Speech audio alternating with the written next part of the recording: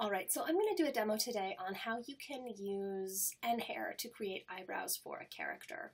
So in order to get the NHair to work, you need to start from some curves.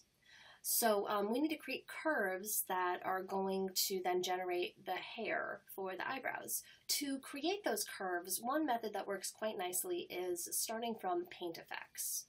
So the way we do that is we need to first select our character, and go to the modeling menu.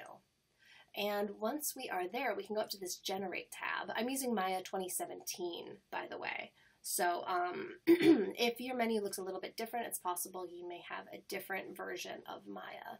So um, go to this generate tab and first say make paintable.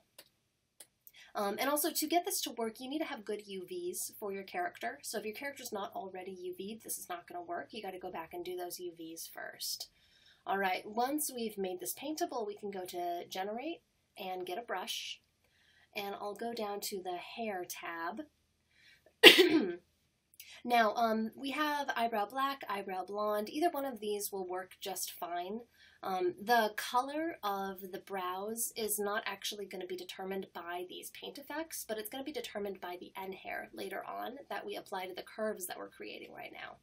So just select one of those, then go to our character, and start with I'm going to make this brush size a little bit larger. So hold down B and click and drag, and then we can paint on some eyebrows. I'm going to make this brush size a little smaller now, and you really want those brows to kind of taper off at the end. So as long as your brush is a little smaller, you can kind of paint in that taper. Maybe make it a little larger and make it a little thicker there at the start. then hit Q and excuse me. So what's been created here are we have all these different strokes for the paint effects. And currently it's set up that when you move the underlying mesh, it stays glued right to the surface through those strokes. Um, we're actually not going to be using these strokes, however, for our rigging, but rather later on I'm going to use a wrap deformer to attach the eyebrows back to the face. So we need to turn these into curves. Currently, if I wanted to like adjust an individual hair, I would not be able to do that.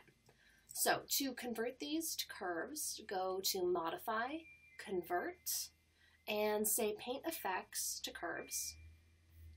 So now we have all of these individual curves. I don't need these strokes anymore, so I'm going to delete those. And now that we have these curves, we can go in and do a little extra trimming on the hair. So if I wanted it to taper a little bit more at the end, at this point I have control over how that's going to look. Alright, so something like that.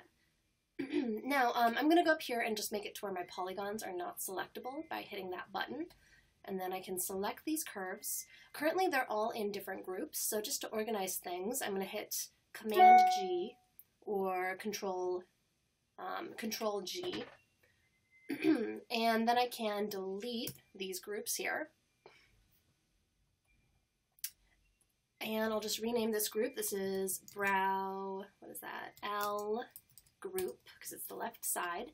And I'm also going to rename these curves since these are not very good names. So I select all of those, shift select, and go up here. Um, to find this tab, you have to hit this little triangle. And it looks like this at first. If you hit this button, you can go down to rename and give them all a name. I'll call these brow, come on, call these brow L curve, and it automatically renames all of them and numbers them as well. now I'm going to go ahead and duplicate these over to the other side as well. So Control D to duplicate, set the scale X to negative 1 on that group. Um, the reason that works, setting the scale X, is because the pivot point for that group is down at the origin. So it's just flipping right along that pivot point. And let's rename this. This is the right side. And I'm also going to automatically rename each of these curves as well. These are brow R curve. so it automatically renames all of those. If you want a little bit of randomization from one side to the other, you could go in and spend a little time adjusting some of these curves so it's a little different from one side to the other. so next what I'm going to do is turn these into hair. Currently, if I were to take a render, we're not going to see anything. And that's what it looks like right now. I'm just using Maya software for this because I'm not really too, I'm not really interested in showing you how the shading works for N hair. I might do a demo on that a little later. But for now, I'm really more interested in just getting the rigging and kind of the general shape of the hair to look right. So to turn this into N hair, we can select both of these groups, go to our effects menu, and go to N hair, assign hair system and give it a new hair system. So now inside each of our groups, all of our curves have been placed inside follicles. And we have this kind of dummy group here that we don't need, so I'll delete that. We have these output curves also, which we actually do not need either. Uh, if I were to hit play, you can see those hairs are all falling down and looking pretty silly. So we don't need this nucleus to be simulating. So I'm going to click on our nucleus and just turn off enable. And now when I hit play, those eyebrows just stay static. Um, again, we don't need these output curves. They're kind of there, there to help you visualize how your simulation is running, but we're not going to actually be simulating this hair. So I'm just going to delete the output curves. We do need the nucleus, however. I'll call this brow nuke and call this brow hair sys. It's a brow hair system. All right. um, the hair's not present yet still. If I were to take another render, it's not going to look any different. In order to get that hair in place, we need we actually need to apply paint effects again. The paint effects are going to be a little different this time. They're not based on that brush, but it's uh, just paint effects that are driven by the N hair. So grab our hair system, go up to N hair, and we're going to assign paint effects output to hair. Hit enter. it comes in super uh, super bushy like this at first. I'm just going to rename this as brow PFX, paint effects, and go into my hair system.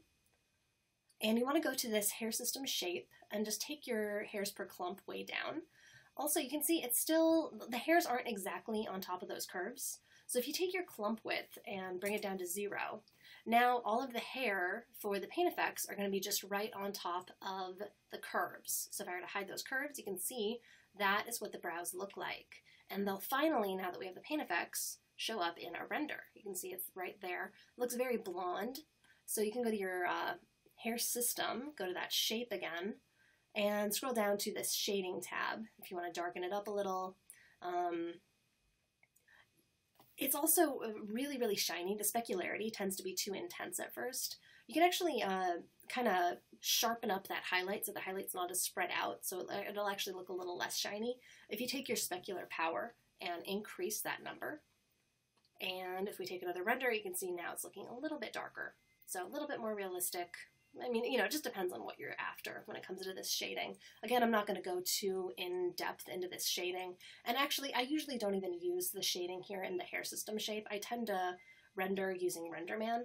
And there's kind of a different process for shading inside RenderMan. It doesn't use any of this stuff right here.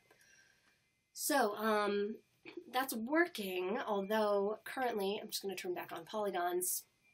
Currently, there is nothing that's connecting the hair to the mesh. So to get that hair connected back to the mesh, we need to use a wrap deformer. so um, you're going to wrap deform the curves. All right, so our curves are inside these follicles. They all got placed in there automatically when we assigned the hair system and created the hair system.